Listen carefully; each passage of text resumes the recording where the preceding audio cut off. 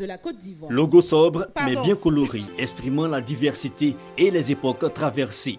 La RTI, Radio-Diffusion Télévision Ivoirienne, veut marquer son cinquantenaire. L'aventure débutée en août 1963 n'est pas près de s'achever. Et face à la presse, le président du comité d'organisation en donne quelques points essentiels. On ne pouvait pas donc euh, faire euh, euh, une telle manifestation sur plusieurs générations sans penser à nos dévanciers, sans penser naturellement à ceux qui ont commencé cette télévision, à ceux qui ont construit cette télévision et cette radio.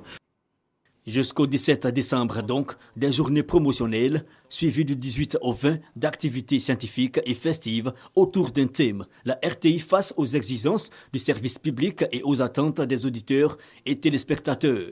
Euh, les 50 ans doivent marquer à la fois euh, une pause à travers les festivités, mais également ça va être une, rampe de lancement vers euh, justement la, seconde phase après les 50 premières années, de 50 à 100 ans de la, RTI.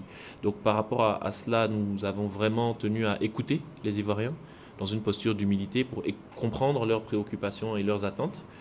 Une volonté de jouer plus que jamais son rôle de média de service public, volonté affichée lors de la cérémonie officielle de lancement du cinquantenaire de la RTI au Studio B en présence de pionniers, d'anciens responsables et du ministre de la Communication Bamba Afoussiata Lamine.